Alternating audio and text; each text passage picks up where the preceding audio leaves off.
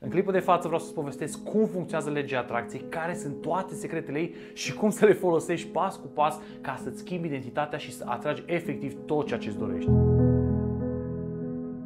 Vreau să spun în start că legea atracției funcționează însă nu în modul ăla clasic, gen bă, stau în pat și mă gândesc la ceva, mă gândesc la un milion de euro și voi obține acel milion de euro. Asta este un bullshit total. Legea atracției funcționează în alt mod și anume. Atragi ceea ce ești, nu ceea ce vrei. Dacă acum sunt lucruri în viața ta care sunt haotice, nu ai succes, nu ai bani, nu ai o relație stabilă, nu ai o relație de familie bună, totul pornește de la tine și e vina ta.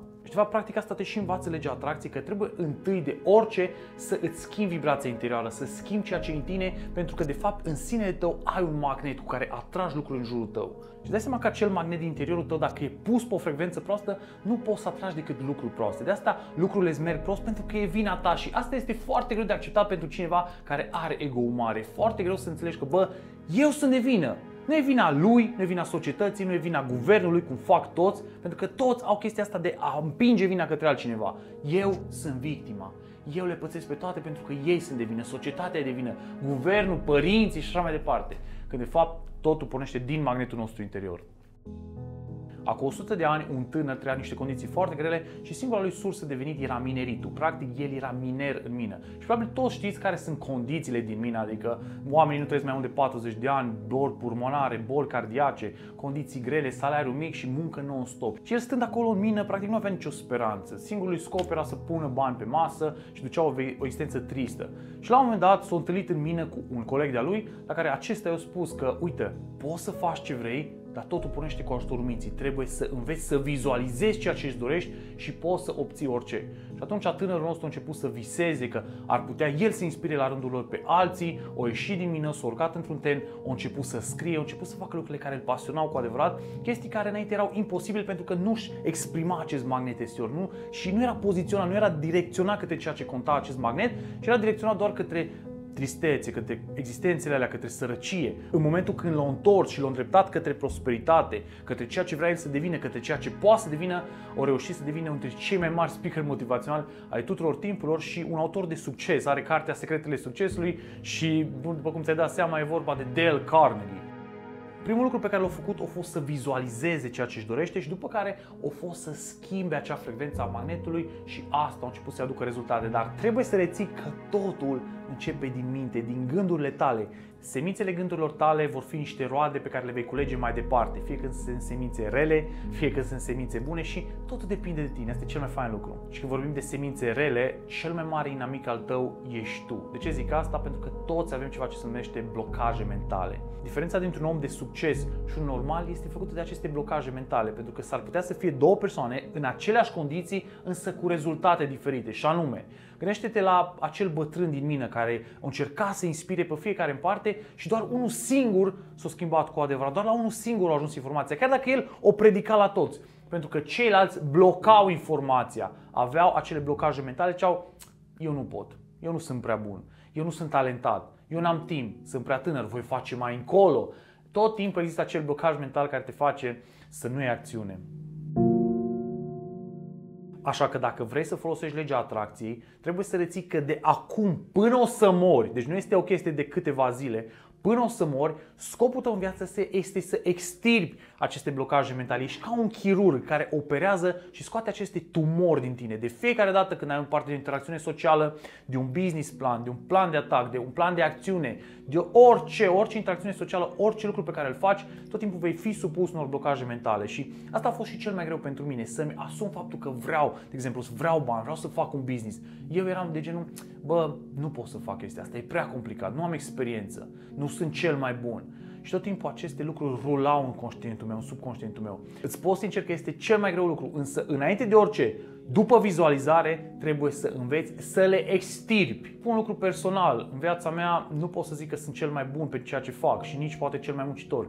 Însă ce am învățat de-a lungul timpului este să mă privesc oarecum obiectiv și să văd unde greșesc cu adevărat, să-mi asum aceste blocaje mentale și să nu mă identific cu ego-ul meu și văd efectiv la competiția mea că ei nu reușesc să facă chestia asta și de asta vor rămâne la un anumit nivel. Se potignez la un anumit nivel pentru că încep să arate cu degetul spre unul și spre altul să zică că a, el a făcut bani în cauza asta sau că a făcut uh, mai multe vizualizări pe YouTube din chestia asta sau are succes din chestia aia de datorită acelui motiv, când de fapt toată vina e la ei pentru că ei nu se pot schimba, nu se pot adapta. Și atunci asta este cea mai mare problemă cu care te-ai confruntat de departe în toată viața ta, este să extirpi ceea ce ai prost în mintea ta. Dacă reușești să te duci spre pasul acesta, vei observa că vibrația ta interioară, undele tale, se vor alinia perfect către o liniște totală.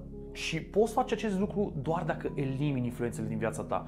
Eu cumva tot timpul v-am zis, bă, fiți foarte atenți ce consumați în social media, la ce vă uitați la televizor, ce cărți citiți și la ce faceți voi în timpul liber. Și multă lume mă judecă, zice că, bă, dar tu de ce zici că social media e proastă? Pentru că sunt influențe, tot ceea ce urmărești îți va intra la un dat în subconștient și trebuie să extirpi totul ca să rămâi în această stare de calm, ca după aia vibrația ta interioară să poată să atragă cu adevărat ceea ce îți dorești. Că eu știu că nu-ți dorești să rămâi în locul ăsta în care ești acum. Locul ăsta, că de asta te știu la clipurile astea. Locul în care ești acum nu te mulțumește, nu ești tu cu adevărat, nu ești la maximul potențial. Dacă încă ai influențe proaste în viața ta, dacă încă ești nefericit, să știi că totul pornește de la ceea ce consumi, de la ceea ce în tine și încă nu ai acea vibrație liniștită în corpul tău. Cumva, sinele tău interior, magnetul ăla pe care tu vrei să-l folosești, atrage prea mult jei. Nu atrage doar aurul ăla, metaforic vorbim, pe care tu ți-l dorești, nu atrage doar valoarea, atrage și firicele de noroi și firicele de nisip și atunci n-ai cum să te duci la următorul nivel. Dar chestia cea mai faină e că totul stă în sinele tău interior și poți să schimbi orice și asta este mentalitatea dezvoltării personale, asta este cumva lecția principală a dezvoltării personale este că poți să te schimbi oricând. Nu ești limitat în a fi cineva pentru că așa te consideră societatea, familia sau nu tu ești cine vrei tu să fii și poți să te schimbi într-o secundă în alta. Și asta este practic mesajul pe care vreau să-ți dau acum.